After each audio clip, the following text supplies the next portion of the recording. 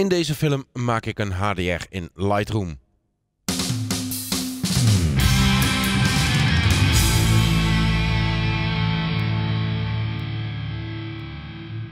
Om een HDR-foto te maken heb je natuurlijk meerdere foto's nodig.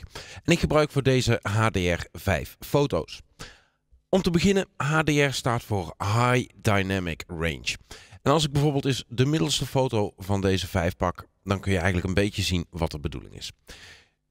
Deze foto laat details zien in de donkere stukken, maar aan de rechterkant is dat bijvoorbeeld eigenlijk niet genoeg.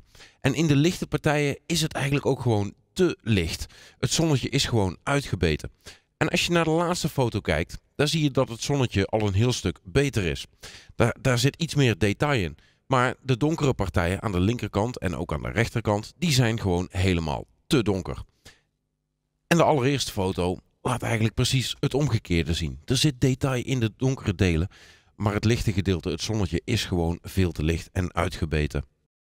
Dit zijn dus vijf foto's met verschillende belichtingen. Waarin het in de schaduw goed is, zie je dat de belichting 1 vijfde seconde is. En waar het zonnetje goed is, daar is de belichting 1 tachtigste. Ik heb voor deze foto's natuurlijk keurig een statief gebruikt.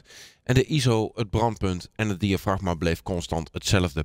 Ik heb alleen de sluitertijden gevarieerd. En ik heb dus vijf foto's met daarin details in het lichte gedeelte en details in het donkere gedeelte.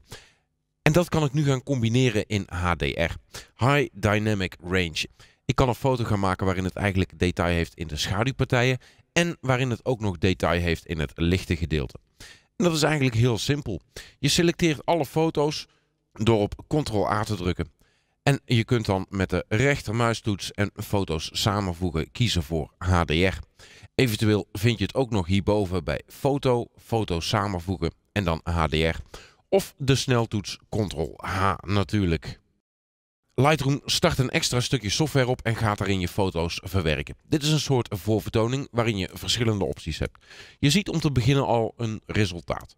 Daarin detail in de zon en detail in de schaduw. Dus dat is op zich wel aardig. Je hebt uh, verschillende opties. Zo heb je de optie automatisch uitlijnen. Um, dat is toch wel altijd verstandig om aan te hebben. Ook al werk je op statief. Als je op een houten vloer staat of op een drassig uh, grasveld. Dan kan die altijd een klein beetje verzakken. En dat gaat maar over hele kleine fracties. Maar toch met uh, automatische uitlijnen corrigeer je dat gewoon weer. En je hebt automatische instellingen. En je zult zien wat er gebeurt als ik die uitzet. Mijn foto wordt een heel stuk minder sprankelend. Dus laat ik gewoon beginnen om dat aan te zetten. En dan heb je nog de waarde voor schimmen verwijderen. En die staat nu op geen, maar je ook laag, normaal en hoog. En wat zijn schimmen? Nou, stel dat er bij één foto nog, ik noem maar wat, een eentje door het beeld zwom. En op een andere foto zat dat eentje ergens anders. Dan kan het zijn dat Lightroom daar een beetje raar mee omgaat. En je kunt dat gewoon heel simpel uh, tegenhouden met schimmen verwijderen. En daar heb je drie modussen in, laag, normaal en hoog. Moet je even mee experimenteren en dan zie je vanzelf wel wat het doet. Maar in dit geval heb ik daar geen last van, want hier gingen geen eentjes door het beeld en hou ik het hierbij. En druk ik vervolgens op samenvoegen.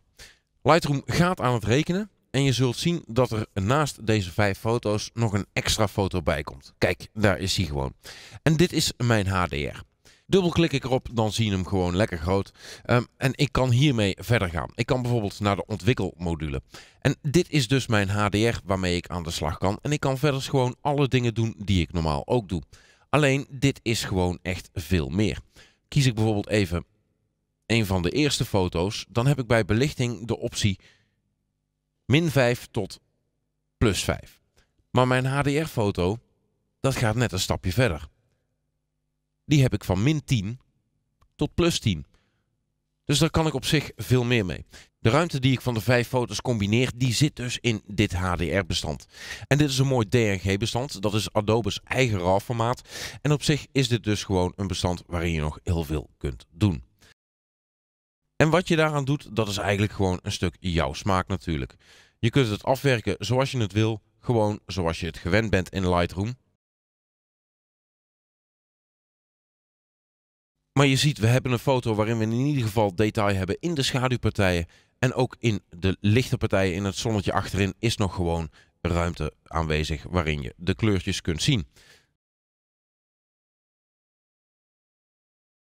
En zo eenvoudig is het. In ieder geval weer bedankt voor het kijken en tot de volgende keer.